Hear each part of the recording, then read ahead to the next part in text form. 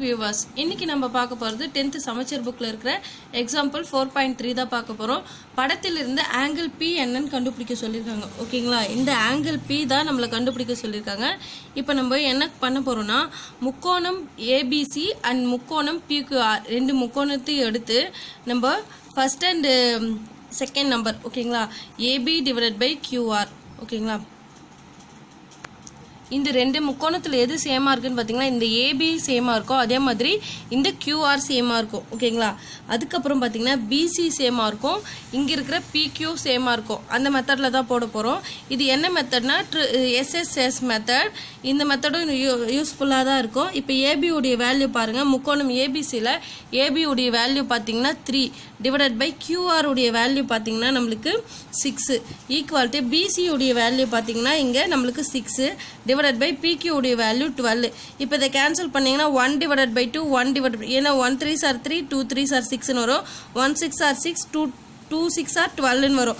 One divided by two one divided by டூன்னு கிடச்சிருக்கு நம்மளுக்கு. ஈக்குவலாக இருக்குது இப்போ ஈக்குவலாக இருக்குது சொல்ல நம்ம என்ன பண்ணி இது ரெண்டும் இந்த வேல்யூ இந்த வேல்யூ ஈக்குவலாக இருக்குது பிசியோடைய வேல்யூ பிக்யூடைய வேல்யூ ஈக்குவலாக இருக்குது அப்படின்ற பட்சத்தில் இந்த ஏசி இருக்குது பார்த்தீங்களா ஏசி டிவைடட் பை பிஆர் ஓகேங்களா? இந்த value A C divided by P R உடைய வேல்யூ ஈக்குவலாக இருக்கும்னு எடுத்துக்கிட்டா நம்மளுக்கு three root three divided by six root த்ரீன்னு வரும்.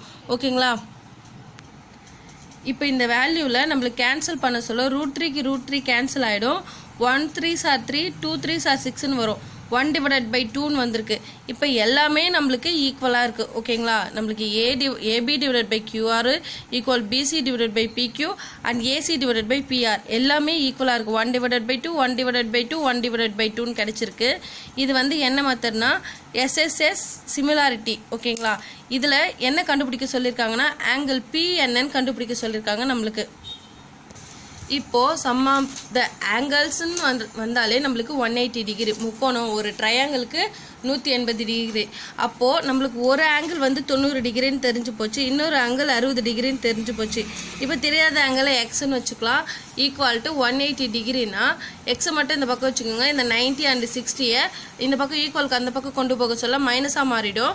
இந்த ரெண்டு மைனஸையும் நம்ம ப்ளஸ் பண்ண ஒன் ஃபிஃப்டின்னு வரும். ஒன் எயிட்டியில் ஒன் ஃபிஃப்டி போகும்போது நம்மளுக்கு தேர்ட்டி டிகிரி தான் கிடைக்கும்.